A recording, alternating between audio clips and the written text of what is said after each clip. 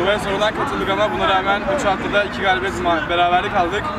Ee, takımımız gerçekten çok diri ve çok iyi. Geçen sezon lidere farklı bir mağlubiyet verdik. Bugün de liderle oynadık. Ee, İsmail'e 3-1 mağlup olduk. Sonradan son dakikada attığımız 2 golde galibiyet geldi. Sahayı terk ettiler. Yani hakeme hata buldular ama hakem bize de hatalı e, kararlar verdi. Ona rağmen öndeydik. Maç önündeydik. Takımımı kutluyorum. Abilerim yani çok iyilerdi. Kendim de çok iyiydim. Böyle devam edeceğiz. Playoff'a bakarız inşallah. Bugünkü maç çok eğlenceliydi. Çok sertti aynı zamanda. Hakem kararları çok tartışılırdı.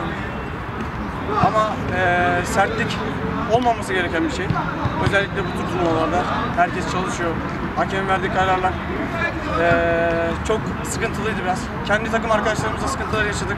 Takım olarak kötü oynadık ama yine kazanmayı bildik. Her şey için dev soktuk.